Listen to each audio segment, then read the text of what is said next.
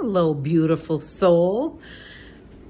I wanted to tell you a little story, uh, and this comes about because today uh, a little group of us was talking about intention and how important our intentions are.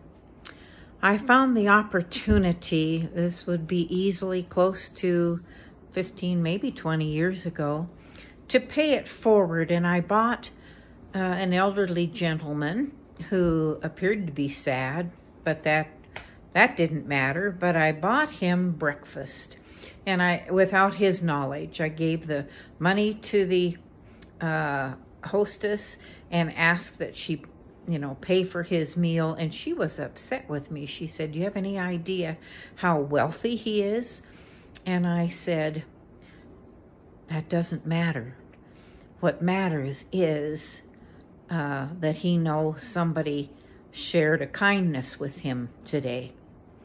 And she said, Yeah, he could probably use a little of that. He's not, he's a real a hole. Anyhow, so that's what led to the conversation. My only intention was to share kindness. It had nothing to do with the kind of individual he was. And I was compelled to to do that, to to buy his lunch out of or breakfast it was out of kindness. I would ask you to explore your motives, what your intention is when you do something.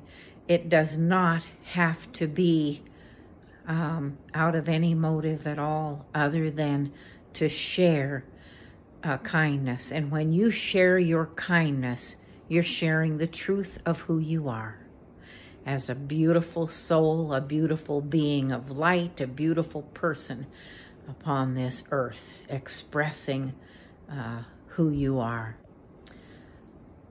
Think about your intentions the next time you uh, run across an opportunity to do something good. Enjoy your day full of intentions, wonders, magic, and miracles.